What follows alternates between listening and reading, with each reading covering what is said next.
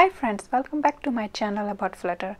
In today's video, I will be sharing some information about persisting data in local database for Flutter for Android and iOS only. Uh, this persistence uh, will be achieved using SQF Lite Flutter plugin. A while ago, I wrote a article about persisting the data across the platforms on Android, iOS and web using Moor plugin. In this article, uh, I showed you how to persist themes using database. Actually, you really don't need to persist theme in database, but this was just an example to show the cross-platform implementation. And uh, I used the implementation of uh, persisting the across the cross-platform using Moor plugin using this library by Rody Davis and he wrote a, fantastic uh, uh, implementation here how we can uh, use for different implementations. So if we want web, for web internally use database, uh, the web database. However, in the native implementations like iOS and Android, it uses the SQLite, it's right here. And for iOS and Linux, it uses VM database and so on.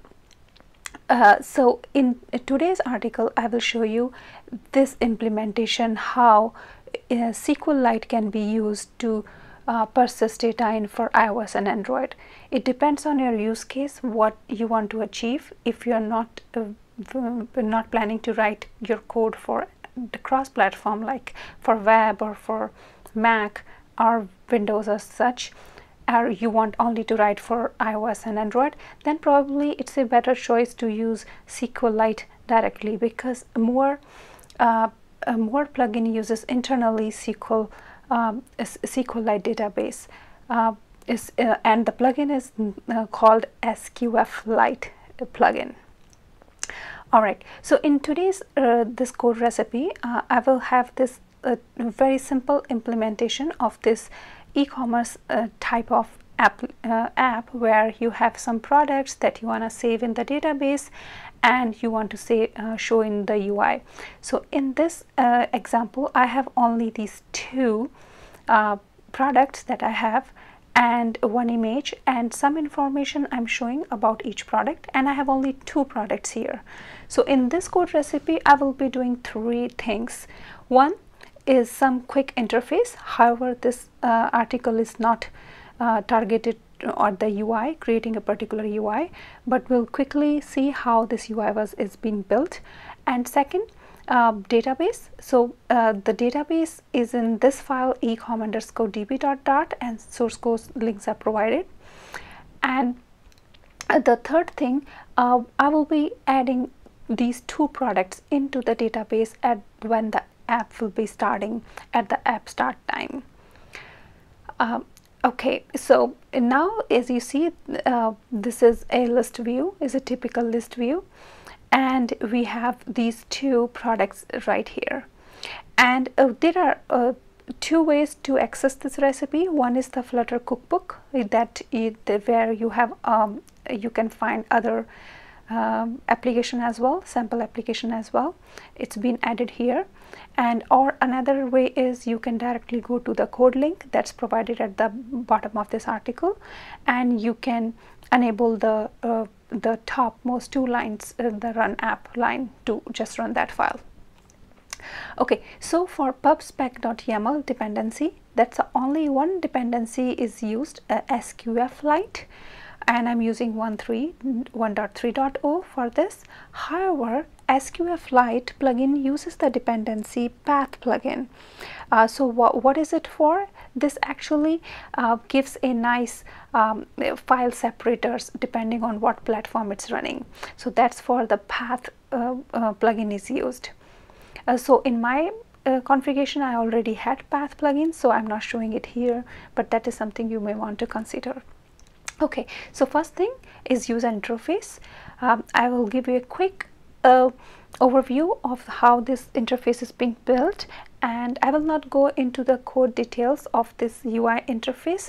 If you are uh, will, uh, if you're interested in checking out the implementation you can check in the source code. So first thing it's a list view and this list view has two item here and each this item the card view here one item is made up of two positioned widgets. One is vertical in the image and one is horizontal. And uh, I have put these two position widget in a stack. And this is a one column.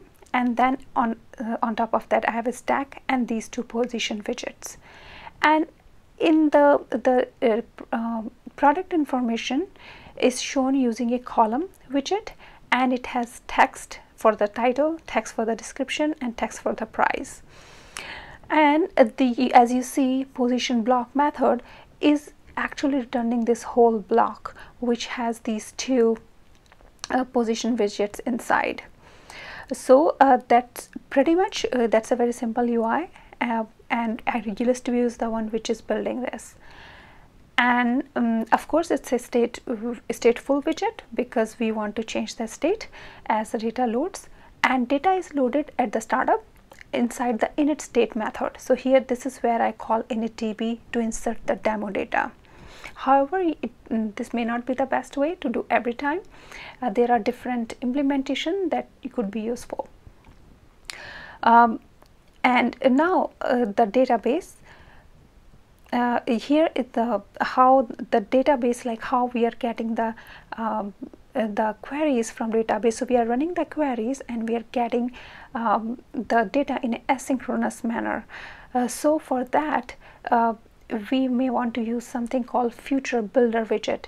So what this uh, widget does it has something called future attribute and where this is where the all products it's returning the future like data in an asynchronous manner so that it doesn't block the UI and it takes the builder and inside builder it's a context and snapshot. So when there's no data it will show the circular progress indicator. Otherwise it will have a builder list view builder and in a vertical direction and it will build a column and put position block uh, in that. The position block as we saw had two uh, again two positioned uh, block uh, uh, widgets to show the image and the product information.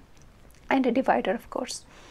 All right. So now the main thing the uh, local database. So it's in the ecom db.dart and what it does is first thing it uh, creates the database asynchronously as you can see see async keyword here. So what it does it open the database join database like this takes the database path the file path on this on your system and um, have the gives the database name the file name. And the join uh, this uh, method is coming from the path library the path plugin that we talked about.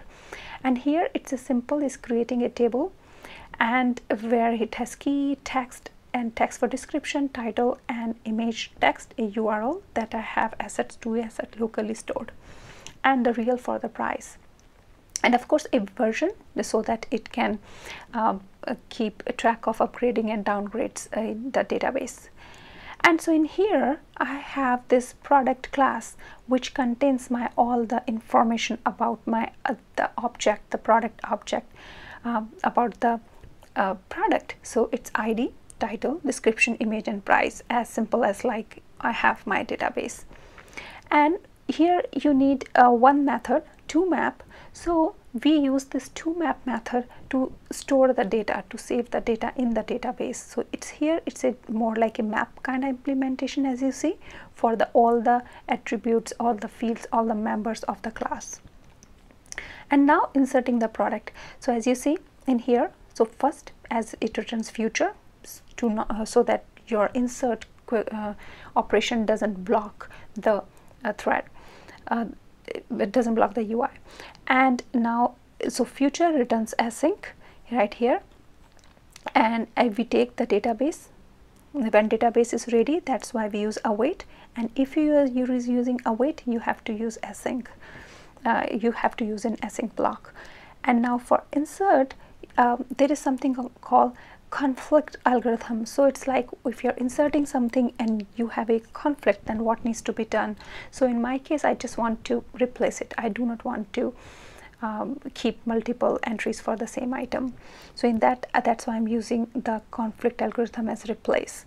And here you see the top table product is my product uh, the table name and um, which is defined earlier in the real code um, in the actual code not here. And the product.map is the one which is actually this is the entity here. This is whole information is being stored in the database. Now querying the all products. So uh, as we saw the all products run a select query very typical select query. Sorry this highlighting is not so good. Okay so the all products is also um, doing the async operation and returning the future list of products. Um, and this is what we are mm, um, accessing in the future builder widget and iterating over these lists and what it's doing is it's doing a query of the table on the table products and getting all the items.